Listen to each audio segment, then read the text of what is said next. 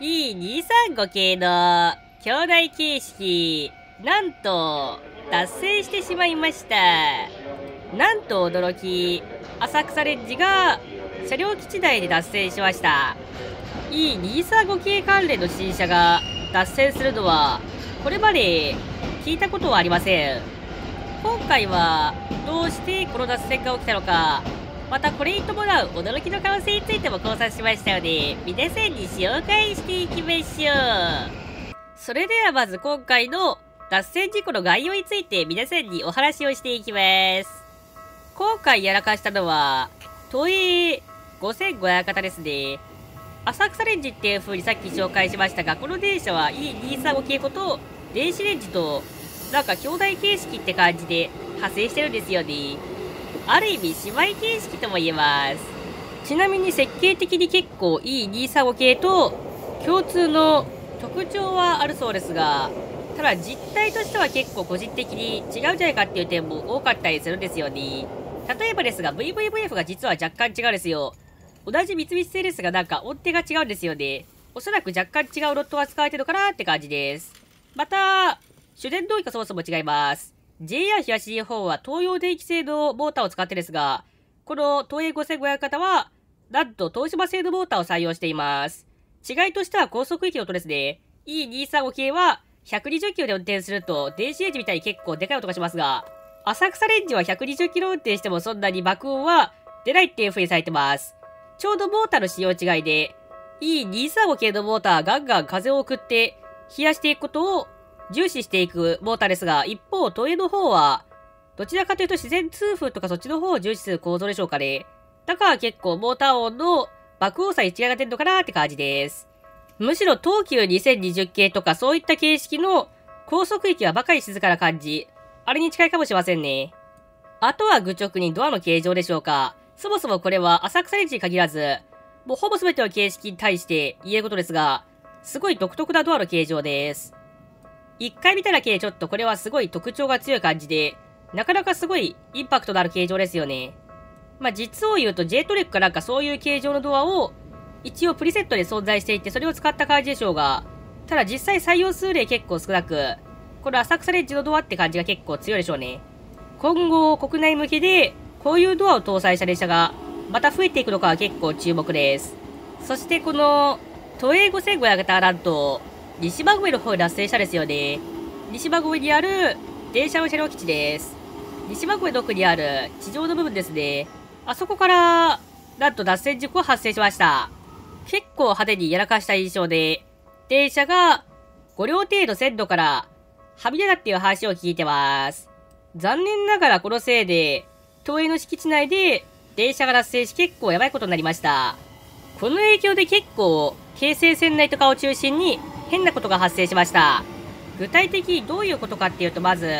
浅草線の都営車が一部区間で運休したですよね。おそらく今回はこの脱線事故に関連する運用で、1個運用が夕方以降の時間帯について運休しました。ただ全部運休したわけじゃなくて実は一部区間限定で、なんと京成車が代走してます。この京成車の代走は結構すごく、高砂から北総線内、インマ日本医大方面までしかやってませんが、まずすごいのは両数です。なんと6両編成で走りました。北総線内6両編成の電車が定期運転で営業運転することはまずありえません。実際、結構昔からもう営業運転で一般的に、京成車の6両は入んないですよね。ただ、ごく稀に、今回のようなこういった変な事態には、緊急で利用されることが一応あるそうです。ただ、これからもわかるように、普通は絶対ありですよね。北総線内6両編成の運用まずありませんから、今回の京成3000型の6両編成のダイソーはとても珍しいものかなーって個人的に感じました。おまけ特急ダイソーなんですよね。特急電車北総線内にごくわずかに存在するんですが、なんとこの特急をダイソーしたですよ。ターレさえ珍しい特急運用をもっと珍しい6両編成、なんなら優等種別が短い6両っていうのは非常に京成線内とか含めて珍しいかなって感じです。京成線内で特急とか快特が6両で走ることは基本ありませんから、北総線内とはいえ、やっぱり6両編成の特急ってのは、極めて珍しいかなって個人的に感じます。ただ普通に幕とかは対応してたそうで、意外となんかダイソーとかは効くようになってますね。ちょっとこれは面白い結果だなと個人的に感じます。それでは、なんとまず最初のお話として、東映5300型が復活するんじゃないかっていう風な噂について継承しましょう。今回5500型が1平成事故によってしばらく運用に入りないから、緊急的に5300型が臨時で復活する可能性についてちょっと考えてみました。それでは現在残っている5300型について紹介します。5300型の 5320F。この電車が実を言うと未だに解体され問わず車庫に残ってるんですよね。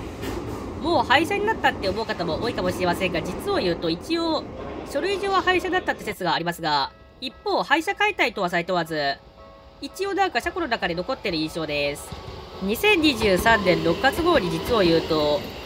重要ケースが消えて次のケースを搭載といきなりって話を聞いてます。2019年6月に検査をしており、次は2023年とかそういう感じですね。ただ、一応この電車は、確か去年の2月か3月以降、全く営業運転入っておらず、まあ、実質的休車とかそんな感じで、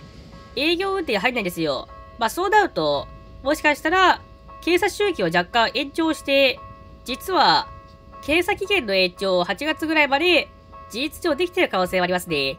もしもその場合だったらもうちょっと、こういったダイソーとかが短期間だったら組めるかもしれません。それでは現在のこの5500型の運用数とかそういった関連の話についてちょっと見ていきましょう。今現在なんか実質23運用っていう話を聞いてます。最大で23個運用があるそうですね。都営浅草線の電車の運用数としてはなんか実質30とかそれくらいですが、実態としてはそのうちいくつかは朝だけ夜だけって感じで兼任することができます。この結果として運用数は実質23個という風にカウントすることができます。まあこういう状況を見ると普通に27編成存在することから余裕は結構ある印象でした。そんなにダブついてる感じでもありませんが、逆に極端になんか過小ってわけでもないんですよね。多分1編成2編成お休みになっても普通に走れることを想定した編成数なんで、多分ですが5300型を復活させて5500型で回すことは困難という状況ではないと思います。都営5300型で十分稼働することができると感じました。このような感じでちょっと残念な結果かもしれませんが、今回の事故に伴い、5300型多分復活しないと思います。おそらくですが5500型の予備の編成十分やりくりできるため、あえてこの5300型を戻す必要ってないんですよね。普通になんか無線工事とかもされてませんし、やっぱりちょっと古いですから、今更復旧させるのも結構めんどくさいかもしれません。てな感じで、あえて5300型を使うメリットはなさそうです。脱線事故に伴い、5500型のチェックが必要だから一応5300型を復活させようっていう考えもあるかもしれませんが、今回のこの事故の結果、後で詳しくもうちょっと紹介しますが、それを踏まえるとまあ、少なくともこの5500型が、今すぐチェック必要で5300型で、代走した方がいいぐらい電車の状態がやばいというわけでもないです。まあ一応そういうことから残念ながら5300型が今回の事故で復活するって噂があるかもしれませんが、これは多分ないと思いますね。それではどうして今回のこのような、やばい事故が発生したでしょうかまず考えられるのは、今回のこの現場周辺の事故場の写真とかがありますね。まずあり得るのは、軌道変異っていう感じでしょうか。ポイントレール付近って実はなんか線路がぐにゃって曲がってるんですよね。まあ曲がってるって言っても、そんなにがっつり曲がったわけじゃなくて若干曲がってるって感じですね。まあ、ほんのわずかでありますが、これが脱線の要因になったのは十分ありえます。校内のエリアなんで、結構チェックが良かったのかちょっとわかりませんが、少なくともこの軌道変異について目撃されました。やっぱりこの軌道変異っていうのはどうしても脱線の事故につながっちゃうため、とてもやばいですよね。本来だったら、これが起きる前に線路の修正とかをする必要があるんですが、これをせずにこうなった印象です。線路の左右で幅が変わったりすると特にこのカーブの付近ですからね、脱線することが全然ありえます。そうなっちゃうとちょっと今回のこの事故は結構やばい事故だなって感じました。ちなみにこの浅草線界隈では去年も脱線事故があったんですよね。っていうのも京成線内で実は去年脱線事故京成車が起こしました。京成高砂道車両基地内でなんか無断対抗とかそんな感じで確かやらかしたですよね。今回の都営と違ってなんか線路がぐにゃぐにゃとかそういった問題はないんですが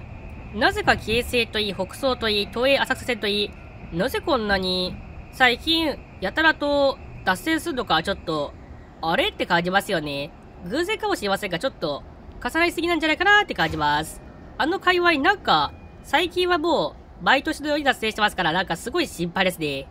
もしかしたら続報でまた別の原因があったって可能性もあるかもしれませんが、今見た感じ、現時点では、車両側のトラブルは特にない印象でした。やっぱりなんか線路側のトラブルが結構今回は大きい被害になったかもしれないって個人的に感じます。まあもちろんなんか信号とかそういった別のトラブルもあるかもしれませんけれどもね。ただ現時点では一応、分かってる情報を踏まえると、特にそんななんか線路とかそっちら辺がマジでやばいケースになってる感じではなかったですね。おそらく東映5500型の総点検といった感じで、電車になんか、いわゆる致命的な結果がないかのチェックとかそういったものは不要かなって感じでした。そのため5300型は特になんか、緊急で復活するとかそういったトラブルを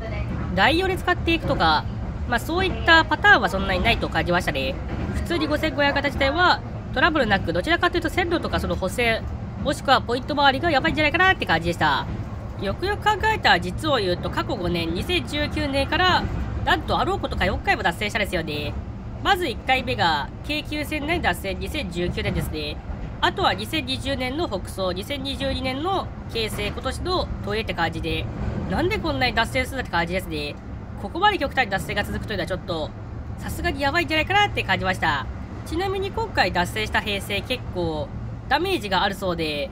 これに伴いしばらくですがおそらくこの編成は営業運転に入れないかなって感じです。もしも仮に台車が損傷して派手にぶっ壊れたらもしかしたら大体心臓もありえでしょう。